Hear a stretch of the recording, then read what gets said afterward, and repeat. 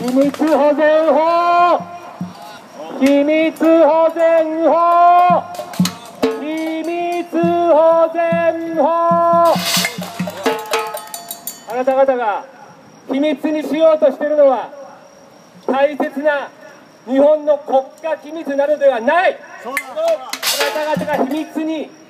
しようとしているのは国民に隠そうとしているのは自分たちの無能さでありそして自分たちがこれまで何らの外交努力をしてきてこなかったという事実でありそして現在の日本国憲法を骨抜きにしようとしているその事実を隠そうとしているんだあなた方は。今回のシリアの騒動でロシアのプーチンが存在感を見せました。今も見せてます。他の国もプーチンもいろいろ問題がある政権ではありますけれどもしかし彼は今この人類未曾有の危機の時に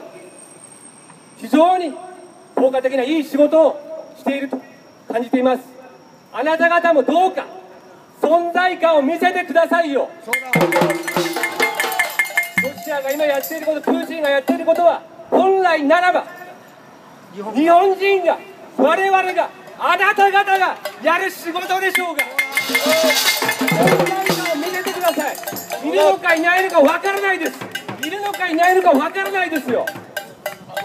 憲法を守れ。憲法を守れ。我々の血と汗と涙の結晶の憲法日本国憲法平安憲法命をかけて守れ